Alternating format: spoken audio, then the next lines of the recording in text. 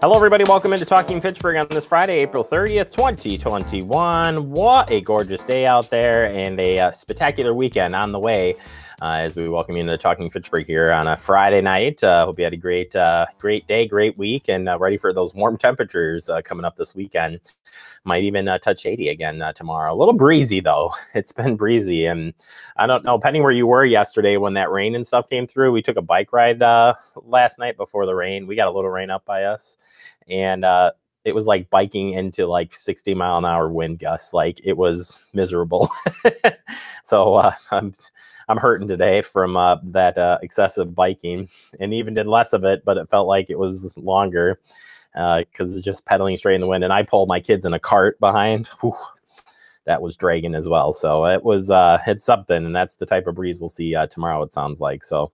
Be ready for that. Uh, we got a busy show for you here coming up. We'll uh, talk uh, uh, about the Amazon scam. We've heard from uh, DATCP that there are uh, plenty of uh, scams going around, and one of those are the Amazon. Uh, so we're going to replay the, the, talk we had with BBB, Better Business Bureau. Tiffany will be here uh, telling us about uh, one of the many scams coming from or being used through Amazon, not the corporation, but the thieves. We'll talk about all that coming up. Plus, we've got our friend uh, from the Fitchburg Star, uh, and now I'm drawing a blank of some friend that Kimberly.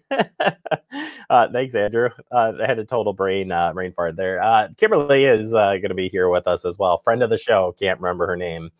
Kimberly will be here to give us an update. Wow, I'm off to a good start. Well, let's just get into the headlines before I train wreck this whole thing. we start with this with some great news to kick off here. The path is now going to be open as of tomorrow. this is it says here uh, we'll have gravel uh, pass uh, along uh, the east side of Fish Hatchery Road, connecting the Glacier Valley, uh, connecting to Glacier Valley to the overpass. So bikers you know there's been a detour and you haven't been able to use that overpass you'll be able to use that uh, starting tomorrow uh, just be cautious when you're uh, crossing through the construction zone there i don't know if there'll be activity there tomorrow but this is gravel so you want to be extra careful users will now be able to access again the overpass cross over Fish Hatchery Road uh, as well. So, uh, good news there. That project moved right along uh, because well, we didn't get a lot of rain this week, so uh, that's a good thing. Speaking of uh, construction and events and biking and everything else. Uh, Kids Building Wisconsin event is coming back uh, to uh, the McKee Farms Park this year, a little bit uh, further back. I give some time, make sure that uh, things are open. And this is set uh, for September 11th. That's a Saturday. And It'll be again at McKee Farms Park. The event will run from 9 a.m. to 3 p.m. And uh, they are encouraging here. It says uh, they are encouraging you to uh, register. So registering and make sure uh, uh, you register uh, for your kids. There's going to be a whole bunch, a lot of fun events happening there, of course. So you can come out and see that.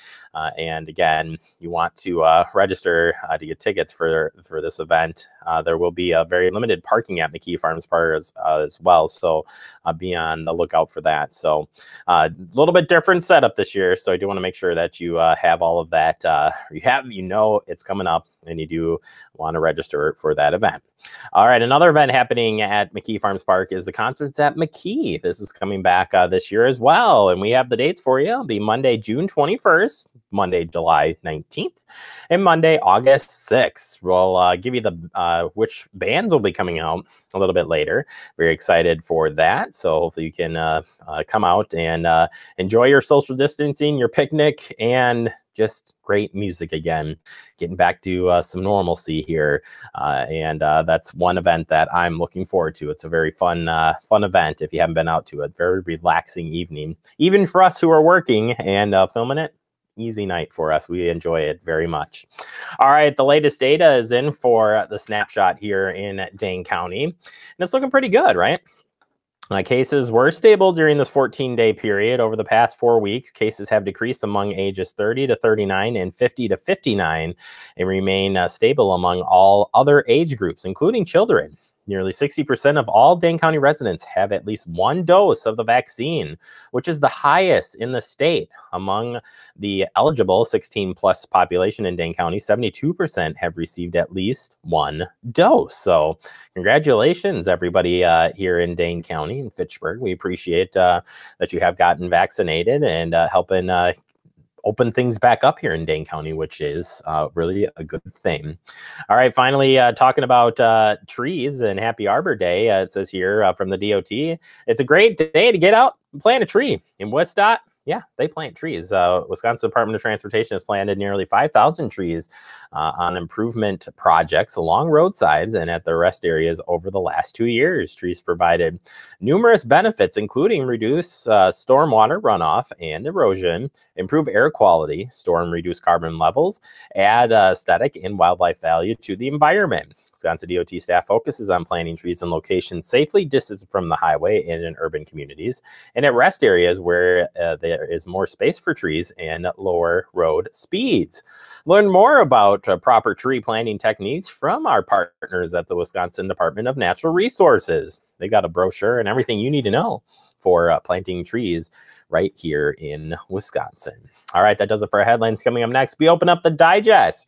We're going to take a look back at a piece we uh, did on the uh, Amazon scams. There's a lot of Amazon scams out there. We want to keep you protected on that. We'll break that down for you next right here on Talking Fitchburg.